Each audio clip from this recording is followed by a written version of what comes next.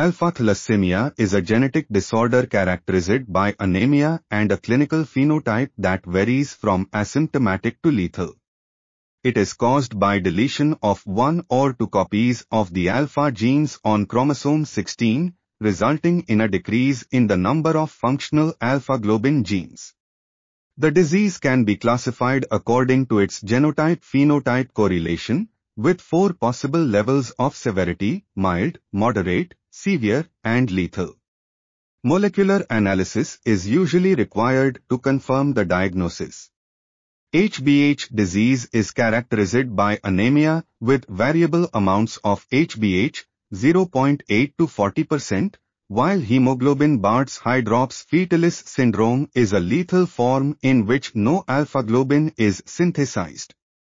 Genetic counseling is offered to couples at risk for these conditions and carriers of alpha plus or alpha 0 thalassemia alleles generally do not need treatment.